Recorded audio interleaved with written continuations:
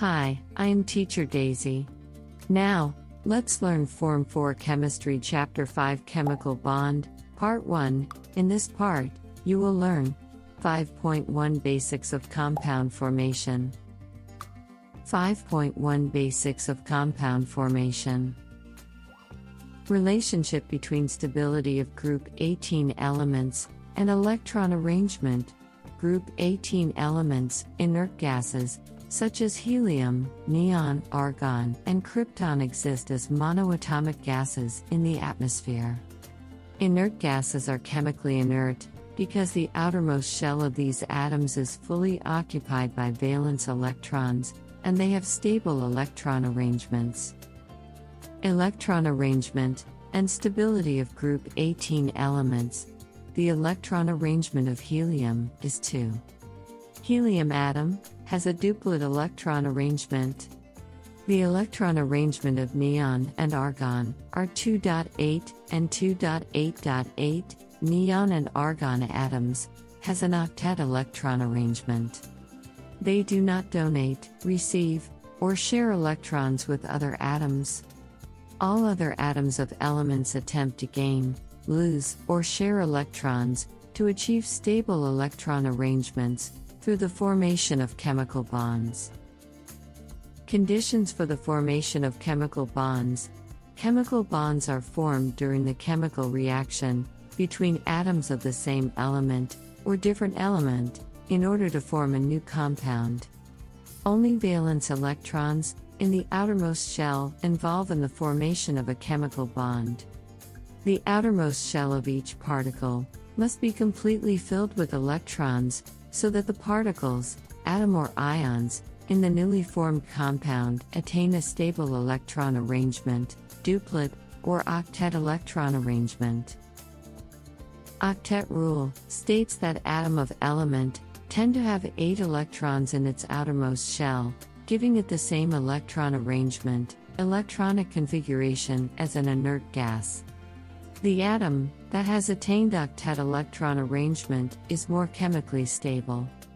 Metal atoms from group 1 and 2 lose one or two more electrons to attain stable octet electron arrangement.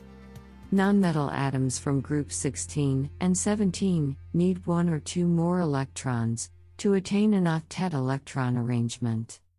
These atoms tend to accept electrons because the ionization energy to discharge 6 or 7 valence electrons, is much higher than the energy needed to pull electrons into its outermost shell.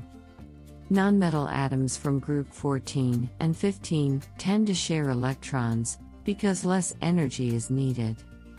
An atom that does not have 8 valence electrons can obtain an octet electron arrangement in its outer shell by forming ionic bond or covalent bond. A ionic bond Transfer of electrons between a metal atom and a nonmetal atom. A more electropositive lithium atom donates its valence electron to a fluorine atom. A lithium ion, Li cation, is formed. A more electronegative fluorine atom receives the electron into its outermost shell. A fluoride ion, F anion, is formed. Both lithium ion, Li cation, and fluoride ion, F anion achieves a stable electron arrangement, duplet, or octet electron arrangement. B. Covalent bond, sharing of electrons between nonmetal atoms. Both hydrogen and oxygen are nonmetal atoms.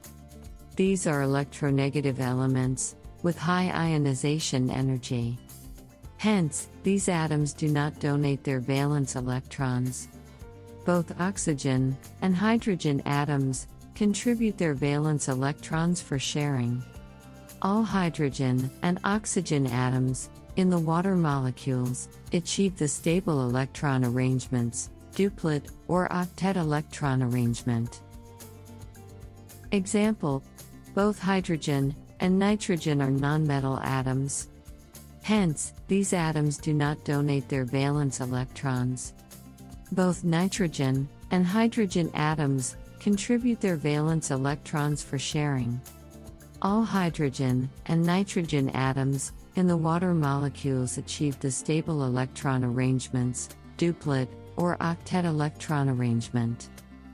Example Figure shows the electron arrangements of atoms X and Y. What type of chemical bond will be formed when these two atoms combine together? Solution X atom has 4 valence electrons. Hence, it is a group 14 element. Y atom has 7 valence electrons. Hence, it is a group 17 element. Both atoms X and Y are nonmetal elements and unlikely to donate electrons. X and Y atoms can only achieve the stable electron arrangements through sharing of electrons or formation of a covalent bond. If you like this video, don't forget to like, share, and subscribe to our channel. Thank you.